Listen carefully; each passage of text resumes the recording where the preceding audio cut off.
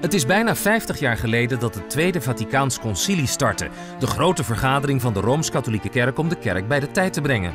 Ik ben er, laten we zeggen, helemaal door omgeven geweest door, die, door, al die veranderingen. Ja, dat was gewoon zoals het was. Antoine, Roderick en Wilfred gaan op zoek naar de erfenis van dit mega-overleg.